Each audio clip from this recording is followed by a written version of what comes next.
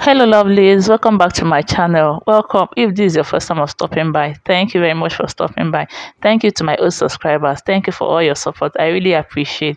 If you haven't subscribed to my channel please hit on the subscribe button. Turn on your notification bell. So for this um for this shot when you look at the style you'll see that it's it has band. So for that band i'm going to be using two inches. I'm going to be deduct i'm going to deduct two inches from the normal length. Then i'm going to mark the remaining one with two inches allowance for the folding. Then for the crush the crush i did i divided the hip line by four. You can add one inch to be on the safer side.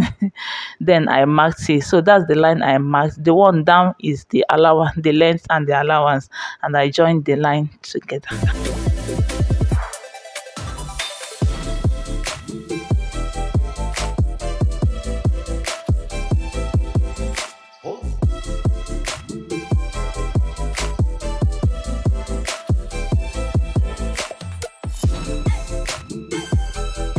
Then for the hip, I'm going to divide the hip into four. The hip and the waist are divided into four while cotton trouser or shorts.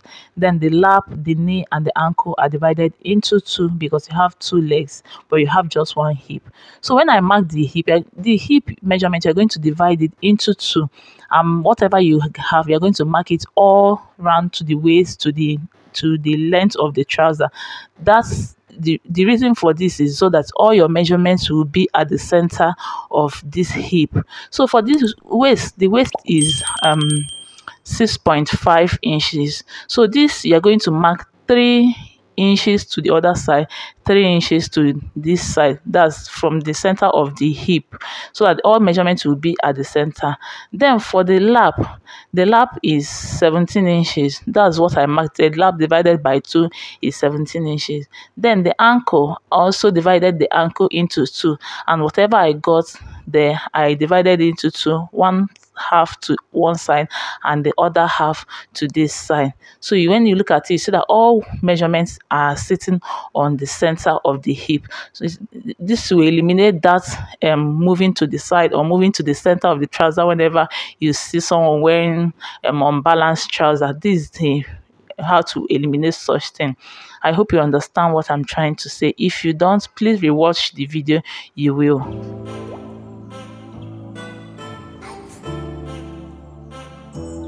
then for the front part of the of the waist i'm going to go down by two inches. This is to eliminate that buffness at the front part. So that's why i'm going down by two inches um two inches. Then i was looking at the weight. It looks so small. I decided to increase the measurement by half on both sides. I don't know if um is from my marking or from the measurement but just to be on the safer side increase it by half inch. So this is it for the front part. Then for the back back back part while placing it on your fabric you put in mind that you're going to increase the back the same way you reduce the front part is the same way you're, you're going to increase the back by two inches by one and a half or by whatever inches that you deducted or you want to add.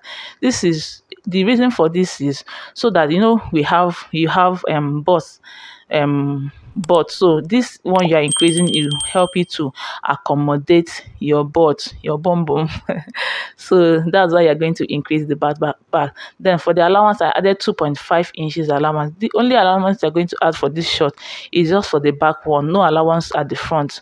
The only allowance that you can put on the at the front if you are if you want to add that then you can add a that allowance to the front. So this is it for the back one um also slanting the the line up to that two inches that you raised. And every other and then add your two inches allowance and every other thing is the same then your cut. If you haven't subscribed to my channel please do well to subscribe. I have lots of videos videos coming up. You don't want to miss any of them. And i also have sewing tutorials coming up. I'm working on them very soon.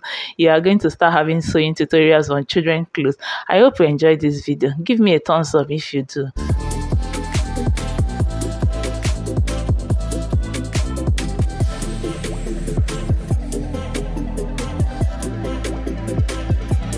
so this is it. After cutting you have two back two front. And when you look at it you see that the front is bigger than the back. So i'm going to give you an idea of how to join your trousers. For the back one i'm going to join i mean i usually start from the back because the zip is usually at the front or side. So you join the back one the back two flap flap. Then join the front to the two side one side to the remember right side facing the right side wrong side facing the wrong side. I'm going to you're going to join it to the two side. Then i just pinned this down just for the purpose of this video. So i pinned the two down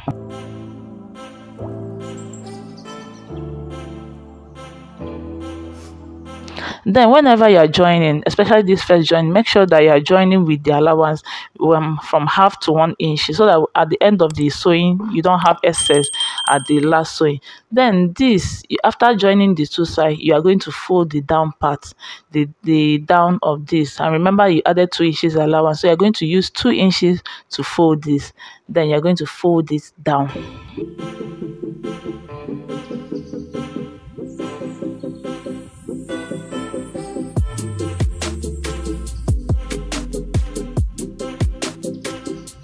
after folding then you are going to join this last side of the of the short you see that the front part the front the front is moving this the back to the front.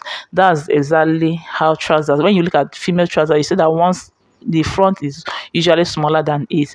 This is the reason because the back is always bigger than the front.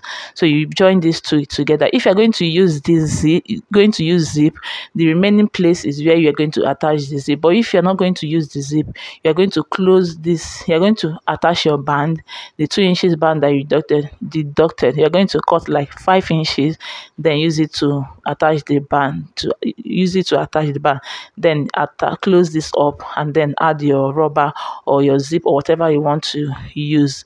Thank you very much for watching. I hope you enjoyed this video. Don't forget to subscribe. Give me a thumbs up. And i'll see you in my next video. Share my videos too.